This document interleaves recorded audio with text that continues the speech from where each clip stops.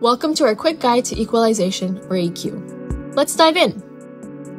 In audio, the word frequency expresses how high or low a sound is, typically in units of hertz or cycles per second.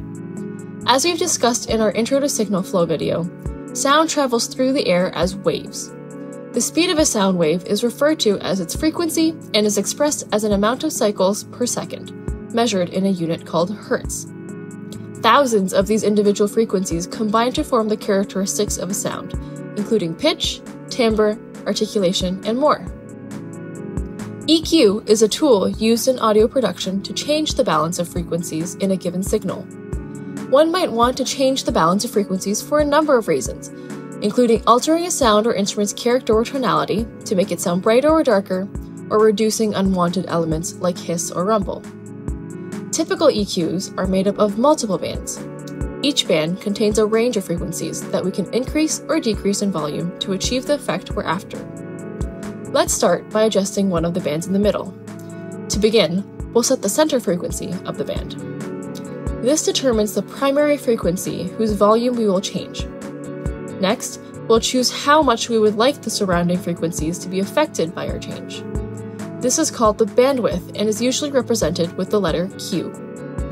Though there are many different ways to use this control, a common practice among audio engineers is to boost frequency bands using a wide bandwidth or low Q value, or cut frequency bands using a narrow bandwidth or high Q value.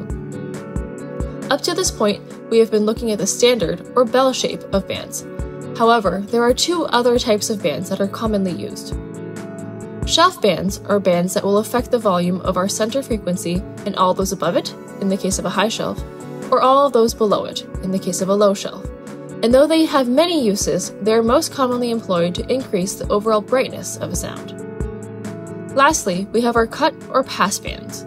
A low cut or high pass filter will eliminate everything below our center frequency, and a high cut or low pass filter will eliminate everything above our center frequency. These have a multitude of creative and practical uses from simple audio cleanup to complex sound design. There are many different types of EQs, from the simple and transparent one that comes in your DAW to colorful analog emulations and precise tools that incorporate other forms of processing. In future videos, we will discuss even more helpful and creative ways of using equalization. Thanks for watching, and happy composing!